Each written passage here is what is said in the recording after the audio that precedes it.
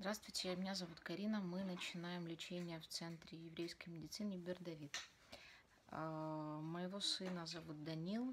А, Ему в ноябре месяце исполнилось 5 лет. В 2016 году нам поставили а, официальный диагноз общее нейроразвитие речи первого уровня с нарушением коммуникативной функции, задержка психологического развития с аутическим спектром.